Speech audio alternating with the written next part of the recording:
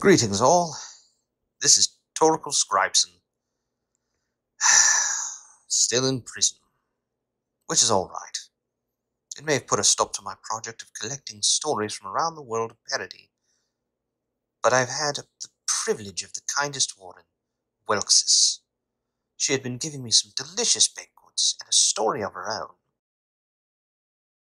It had been a few days since last we talked about her tale. I was worried for Welxis. She seemed a bit sad as of late.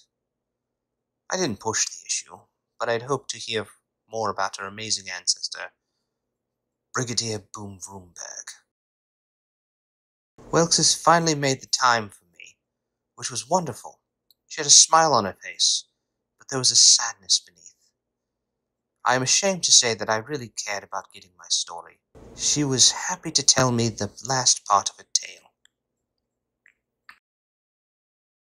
A group of gnome thugs were laying in the shop, while their leader harassed the older couple that ran. This is what happens when you don't pay your dues. Mrs. Pike tried to shield her husband from the gnome thugs, and stood up and received a punch to the face for his bravery. Please, don't do this. You must understand, business has been slow. We aren't making much. The gnome thug leader sneered. That's not my problem. I mean, it kind of is. The gnome thug leader glared at Mrs. Pike fury. You're smarting off to me. The gnome thug leader raised his hand to backhand Mrs. Pike. The old shopkeeper braced for impact, but was surprised that the impact never came. She opened her eyes to see the gnome thug leader staring blankly at her. Uh, sir? The gnome thug leader fell to the floor, revealing the dagger in the back of his head. Mrs. Pike looked around frantically. What the?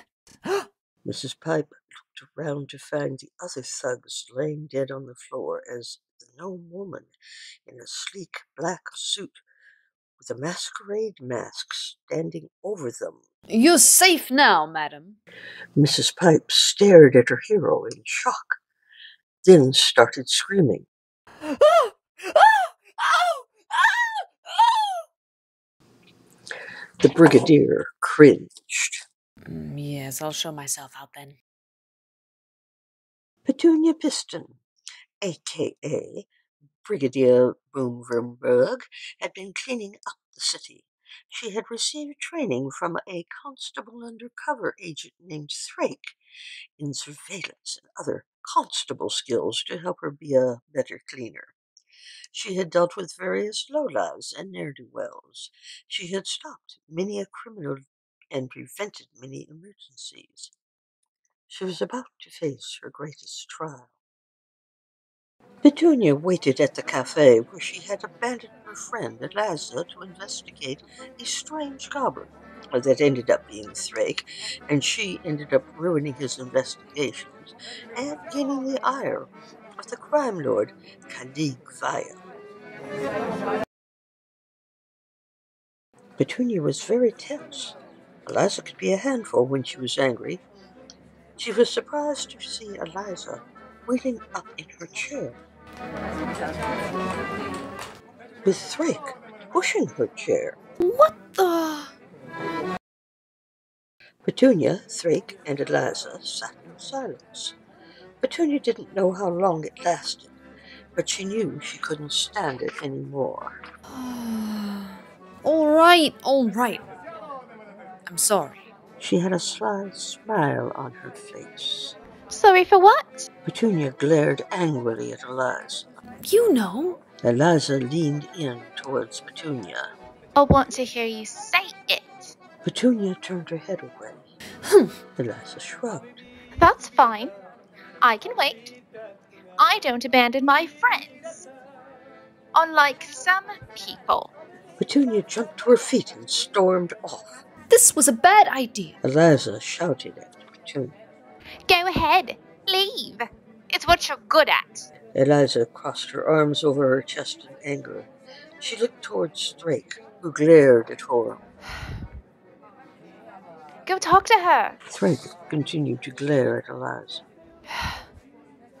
Please. Thrake nodded, stood up, and walked off.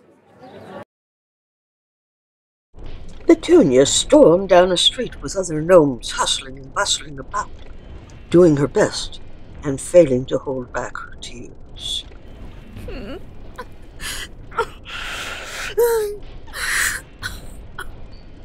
Petunia! Petunia stopped in her tracks. She wiped her eyes as best she could and turned to face Thrake, who was running towards her. I know. I know. Thrake stopped to catch his breath. Good. I'm glad I ran Oh, over you. Sorry, Thrake. She's just so. Stubborn, Petunia nodded. like her friends. Petunia glared at Thrake. Anyway, you should apologize, love. Petunia gave Thrake a confused look. Why do I have to care so much? I just, you know, think you shouldn't do what you do. I know. That's all. Petunia stared at Thrake in confusion. Then realization hit her.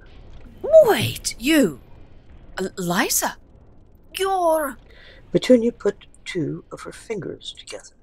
Thrake looked away, embarrassed. no. When? Remember when we met?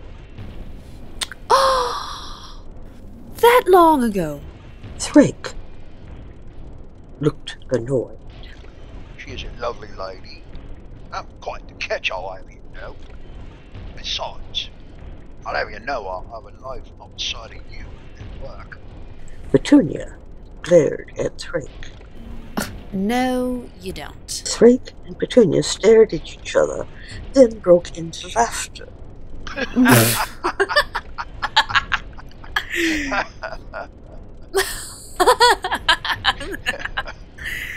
come, come on. You have an apology to me. I guess you're right. She is the reason I do what I do.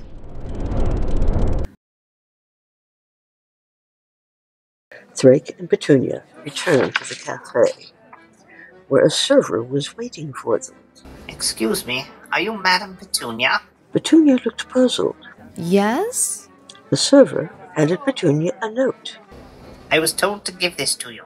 Petunia opened the note tentatively. Uh, thank, thank you. Petunia read the note and air escaped from her. Oh my god! Petunia ran off to the surprise of Thrake and the server. Wait! Petunia! What's going on? Thrake ran after Petunia, leaving the server confused. Am I not getting a tip? Petunia found her way to the table. She found Eliza's chair, but no Eliza. Oh god, no! Thrake caught up. Will you stop all that running? Petunia turned to look at Thrake. They took her! Thrake stared at Petunia in shock. What? Petunia handed Thrake the note. He read it. Dear Brigadier Broom Boomber, or should I say, Petunia Piston. That's right.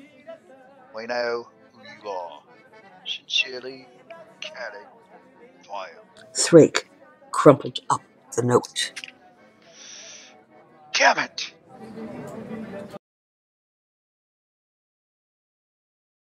Petunia and Thrake made their way to Petunia's hidey hole, where Petunia mixed some chemicals, while Thrake paced the floor, reading and rereading the note. Petunia was getting annoyed. Read it all you like, but it won't say anything different. Thrake glared at Petunia. I'm not just reading it, I'm studying it. Same thing. Most certainly not. I'll have you know that I discern a lot from this piece of paper. Is that right? Let me demonstrate. The feel of this paper is soft and thin, but durable, which narrows down to three paper making companies. And as far as the smell, there's a hint of salt water. So it's by the river that leads out of the mountain into the ocean. Petunia shrugged. Which means. Thrakel wagged his finger at Petunia. Don't get ahead of me. Anyway, colour tone of this note is old, which I know for a fact they don't make it anymore, which would lead me to believe this came from the abandoned white leaf paper factory by the docks on the south side of town. Thrake handed Petunia the paper with a smug look on his face. Petunia snatched the note out of his hand and looked at it. She glared at Thrake. I'm sure the stamp on the back helped. Thrake sneered. At the abandoned factory, several gnome, goblin, and kobold thugs patrolled the area. Petunia and Thrake hid behind a crate on the dock, surveying the paper factory. It's a lot less secure than the abandoned paper factory. Indeed. Ready to test the new equipment. Petunia opened her coat to reveal a plethora of daggers. I've been dying to. So, so will I. Two kobold thug guards patrolled the east side of the factory. They stopped as a dagger embedded itself between them. The kobold thugs looked at it in confusion. Huh? The dagger suddenly sprayed a greenness.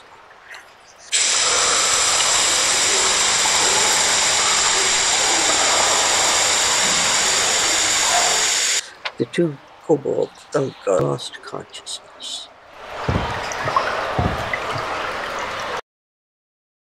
Two goblin thug guards patrolled the west end of the factory. When a dagger sailed through the air and embedded itself into a goblin thug guard's chest, causing him to fall to his death. The other goblin thug guard stared down at his dead companion in shock. What the? The dagger shot dart into the other goblin thug guard's neck, which injected a burning venom into the guard thug, killing him instantly. Two gnome thug guards patrolled the north side of the factory and stopped as one of them saw a dagger fly through the air. The two gnome thug guards merely dodged the dagger, which embedded itself into the wall. The two gnome thug guards looked back at the dagger, where it came from. They saw a Brigadier Boomvroomburg standing before them.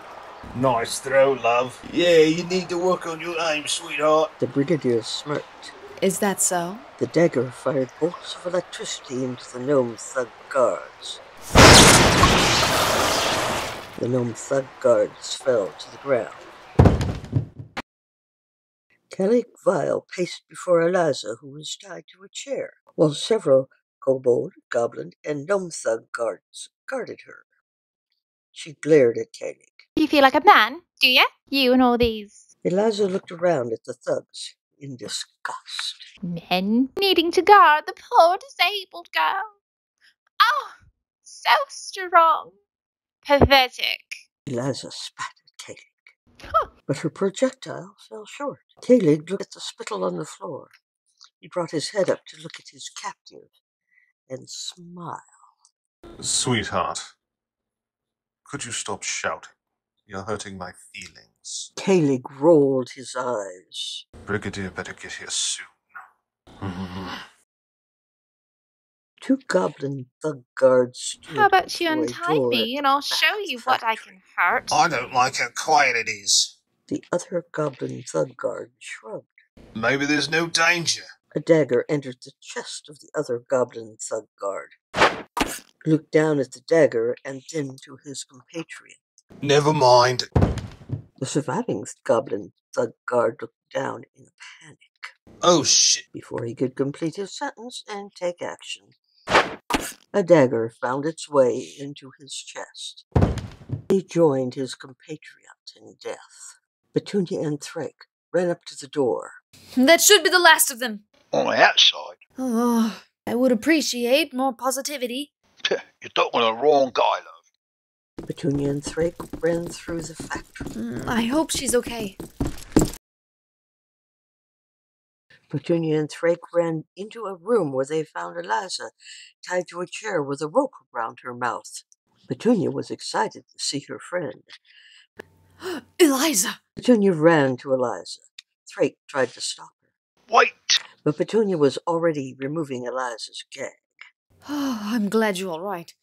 As soon as the gag was out of Eliza's mouth, she shouted. It's a trap!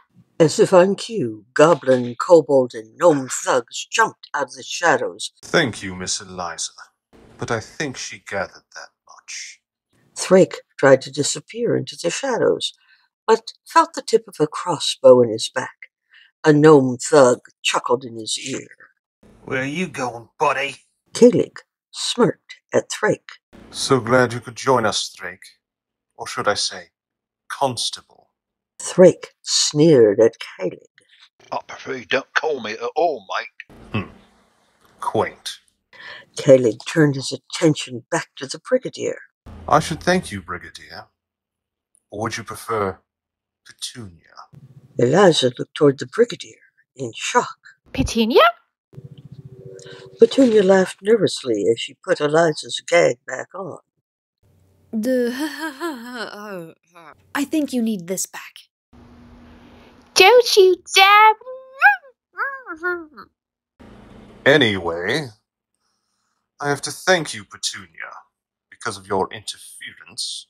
When you killed the other crime lords, I acquired more real estate. You're welcome. I guess you could show your appreciation by letting us go. Cute, but sadly, no. You've become a liability and must be dealt with. Petunia sneered. Well, that's a fine you're welcome. I'll tell you what, as a thank you, I'll grant you an expedient death. Petunia sneered. Oh, thanks. Calig shrugged. You brought this on yourself, Brigadier. Petunia hung her head in shame. Oh, you're right. I guess I shouldn't have come here without a plan. I guess I Petunia Thrake and smiled. Drop the ball. Thrake nodded. Calig was confused. Huh? Thrake reached into his coat and pulled out two balls and threw them against the ground.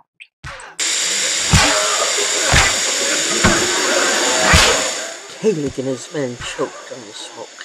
As it cleared, he saw that the brigadier, Thrake, and Eliza were gone.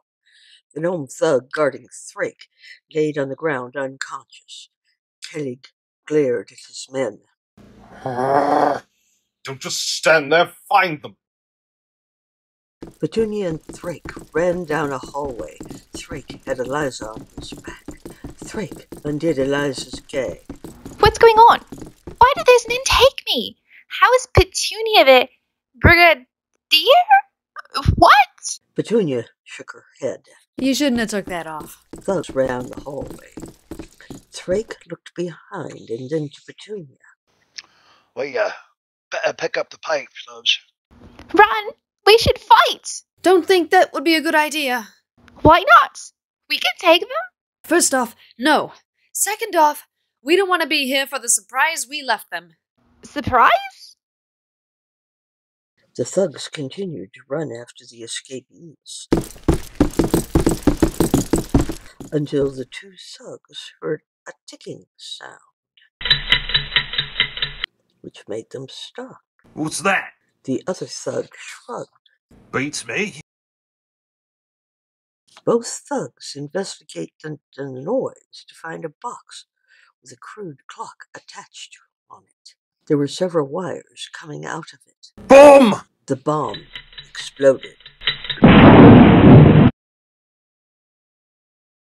Thrake looked back to see a ball of fire chasing after him and his compatriots. Run faster! What? Eliza looked back to see the same ball following her and her compatriots. She shouted in Petunia's ear. Run faster! Thrake and Petunia jumped through windows as the abandoned factory exploded. They landed in the water.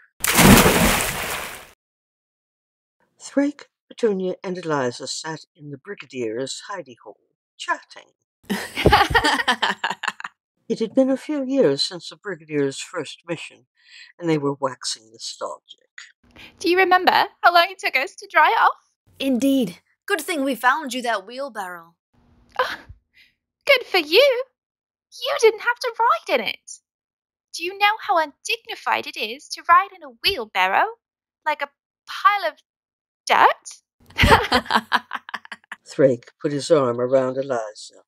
That reminds me, our uh, anniversary is coming up. Did I hear right? My husband remembered an anniversary. Thrake sneered. It's hard to forget when there's an egg in your ear. You idiot! Eliza playfully pushed Thrake, but the two shared a kiss. Petunia looked disgusted by the sight. What do you have to do that? I just ate. An alarm sounded, interrupting the fun. Seems someone needs the brigadier. Ah. A group of gnome thugs surrounded a young cubby bug leader with a dagger at them. Give us all your valuables, no one gets hurt. The gnome boy stood in front of his gnome group.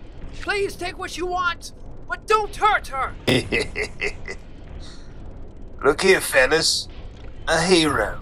The gnome girl pointed towards something above. Speaking of which, The gnome thug leader looked up in confusion. Huh? The gnome thugs looked up in horror. As Brigadier Boomvroomburg stood on top of a building overlooking the scene. Hey, hey! Are you harassing this couple? The gnome thug leader shook his head in disbelief.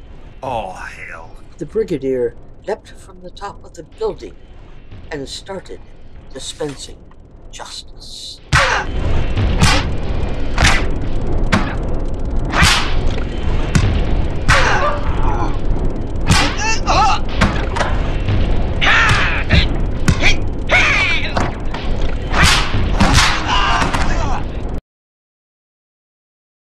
Welxis had finished her tale. She said that there was more, but she couldn't finish in the short time we had together. I was perplexed by what she meant, but she had left my cell before I could inquire more. I thought nothing of it. I was just going to wait in anticipation for the next story. Not much else I could do. Interesting turn of events. Welxis informed me that she was forced to retire this morning. She came to me because she thought my mission was too important to end, so she decided to help me leave. This was a wonderful. Quiet! Someone would hear us. Oh, sorry. We had made it to the flybox port. I'm attempting to get into a flybox. Hey, what are you doing? Oh no, Welxis, we've been caught. Get in the damn flybox already. Come on. I can't. What? My old adventuring days are behind me, love. I'm far too old. But Stop right there. Get out of that fly box. Goodbye.